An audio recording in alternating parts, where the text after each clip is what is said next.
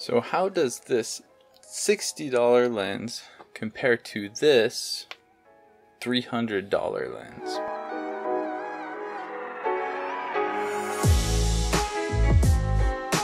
So one of these pictures was taken with this $63 lens that you can buy on Amazon and the other picture was taken by this lens that you can buy for about $290 on Amazon. A few months ago, I was on Amazon just kind of perusing lenses, and I came across this one for about $60. Uh, it's a manual focus lens uh, from the brand Miko Plus, um, some Chinese no name, whatever brand. And I was mostly just curious how good could a $60 lens actually be? So, right now, we are going to find out. So in today's video, I am going to show some photos I took with this Mcoplus lens and compare it to some pictures I took with this Sigma lens.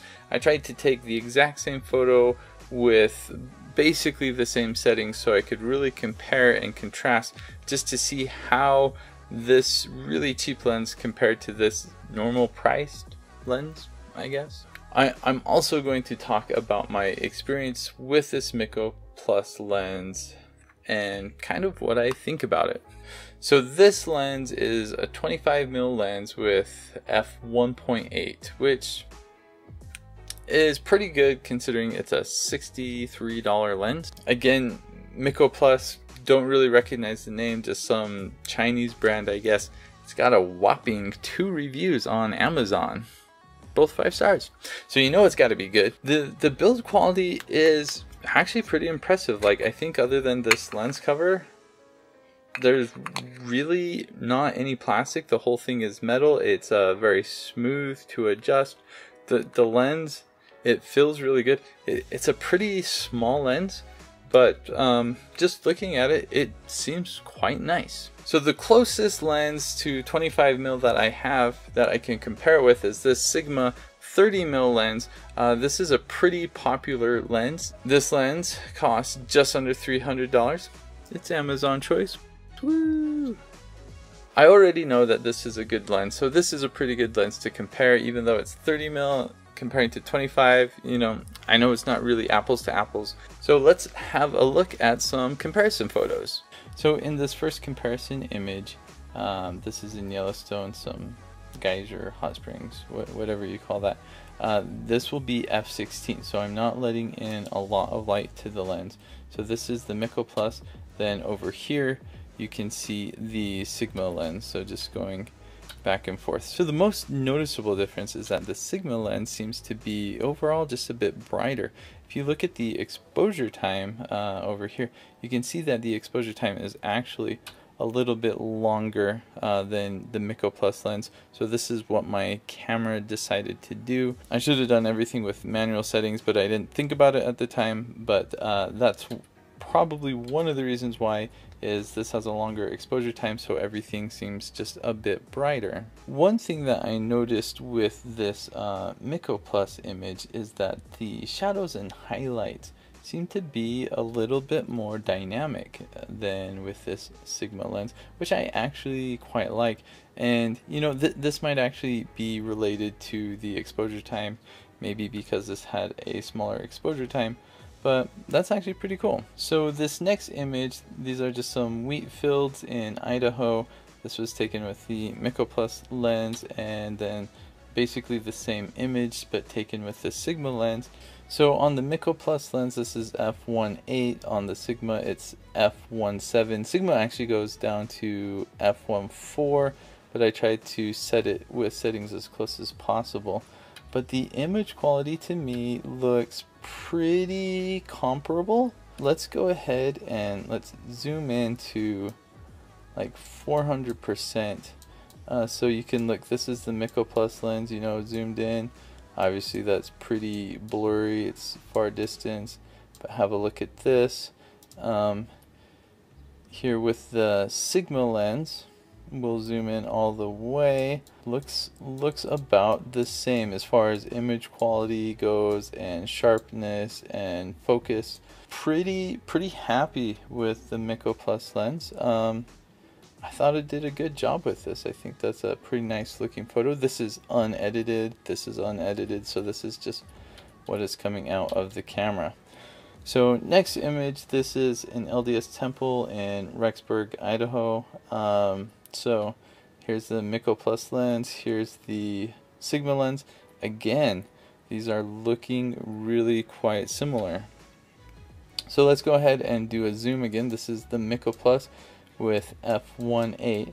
Let's just kind of zoom into the building spires so you can see kind of the details here. So so take a look at this. Um, not not too bad for being zoomed in 400%. Is that 400? Yeah.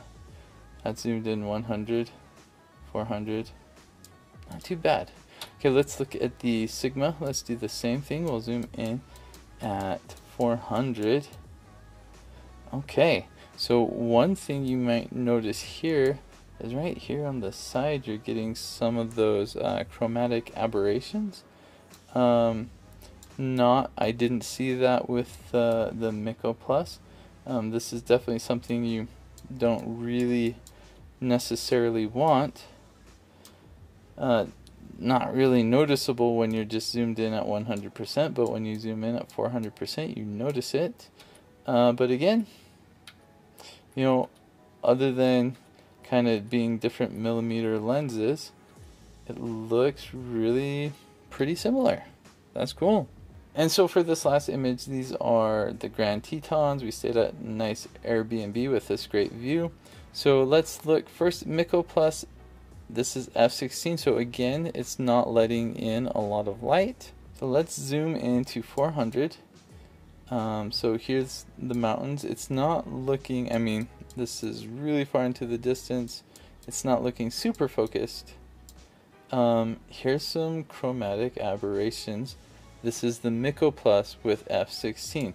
So this is a bit red. So on the f1.8, we weren't seeing this. On f16, we are seeing this. So that's kind of interesting. Let's zoom out. So there's a look then we'll switch to the Sigma. This is F16, again not letting in a lot of light.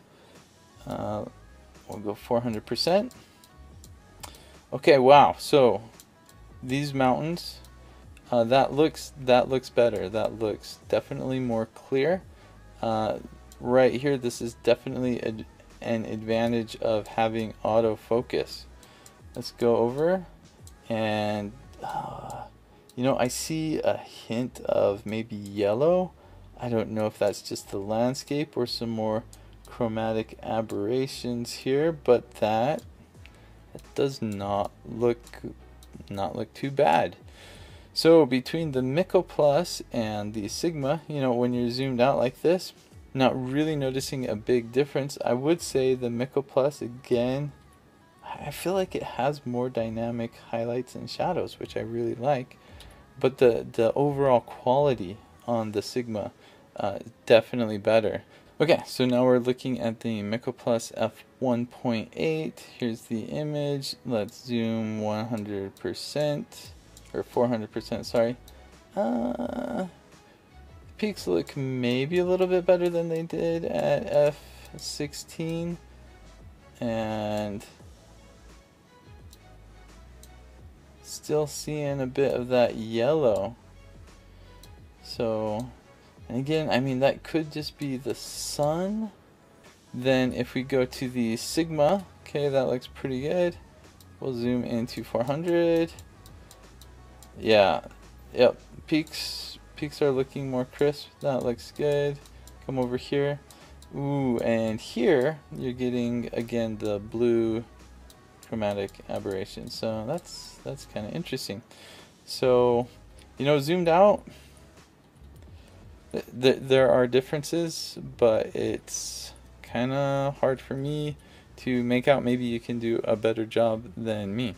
So a few things I learned doing that walkthrough. For one, the Mcoplus lens is actually rather impressive to me. I think the image quality is fairly comparable to the Sigma. I mean, they're not the same. Sigma, you usually get slightly more in focus, but overall, um, I'm pretty impressed. Another thing of note is I realize my testing is flawed because I didn't do everything in manual. So you'll see some of these exposure times are not going to be identical. So that is going to throw some of this testing off and these images would look slightly different if I had set things manual. Sorry about that, my bad. I would say the main advantage of the Sigma lens is just that it everything comes in much better focus, a little bit more tack sharp. That's a very important thing. That's what your automatic focus is going to give you. That that is a pretty big deal. One other thing I noticed is that Sigma seemed to do better than the Mcoplus when you had f16 or when you were letting in less light. But the Mcoplus, when compared to the Sigma at f1.8, seemed to do a good job of not having as much chromatic aberrations as the Sigma did. So that's actually one nice thing about the Mcoplus that I think it has a leg up on the Sigma, at least in these photos that I took. Could be just the way the lighting was. I'd have to do some more tests to know for sure. One other thing I would like to talk about is I was able to actually do some night photography while I was up there. I have always had terrible results with night photography, but one thing I will say with the Mcoplus lens is that having a lens that is manual focus is so much easier for night photography and being able to go to f1.8 I was able to get some pretty decent shots you know, obviously this is something I still need to work on, but here's some images. These are just straight up images, no editing or anything. I was really happy with the kind of detail you could get. You can see, you know, the exposure time 20 seconds. You're already seeing some light trails. But on the Sigma camera, with the Sigma camera, I took one image and here it is. I was pretty happy with it.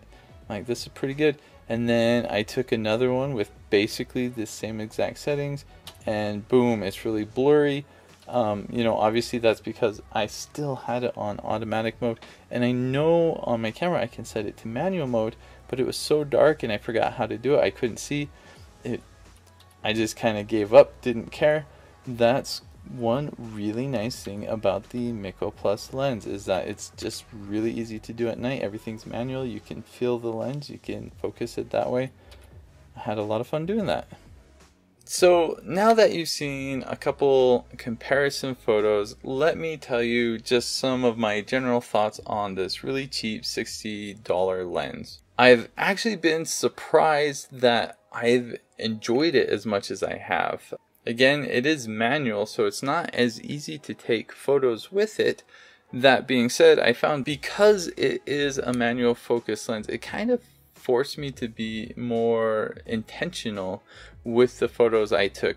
I knew before taking a picture I was going to have to take a little bit more work getting it in focus and setting up the camera. So I didn't just go taking pictures here and there, but I really wanted to capture the image and make sure it was going to be a good image. Honestly, I feel like using this has kind of made me a better photographer. I am not at all a good photographer. I'm not professional. It's just a hobby, but I learned a little bit more about how lenses work because I have to do everything manually. So I learned a little bit more about aperture. I understand a little bit better how aperture lets in the light, you know, going to f1.8 lets in a lot of light, f16 doesn't let in as much, how that lighting kind of affects photos. I didn't really think about that before. Now that I've used this, I feel like I do have a better understanding really th- there's no question to me this is just a better lens I, I think for one just the fact that it's automatic it makes it a better lens.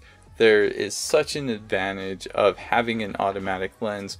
When you want to go out and take pictures especially action pictures you just have to have automatic to get that nice tack focus image. There was an instance where I was trying to take pictures of my son with this Mcoplus lens. He was playing with the ball, and really only about half of the images I took were actually in focus and the ones that were in focus would probably be in much better focus if I was using an automatic focus lens such as this Sigma lens. That being said, this lens is about $230 cheaper than this and the image quality difference I was seeing between these two lenses did not seem that significant. Sure, I think the Sigma lens does take better images, but at a glance, and especially just viewing on a computer screen and not being zoomed in at all, it's really hard to tell between these two lenses. I would absolutely recommend this Mcoplus lens for anyone who's interested in like landscape photography or night photography, something where you're not taking an image of a moving subject or something like that. This is actually really good for. It can take really great images and if you're trying to go for that wide angle look and you just want to have a lens that can do that and looking for something cheap, this is really a good option. This might also be okay for portraits photography, especially if your subject is an adult and you can tell them to stay still and they do that.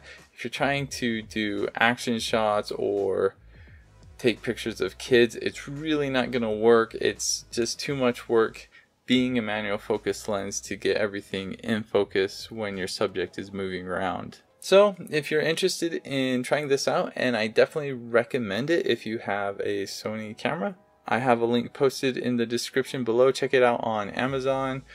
Maybe the price will have changed since I post this video, but I've really been happy with this lens. Go check it out.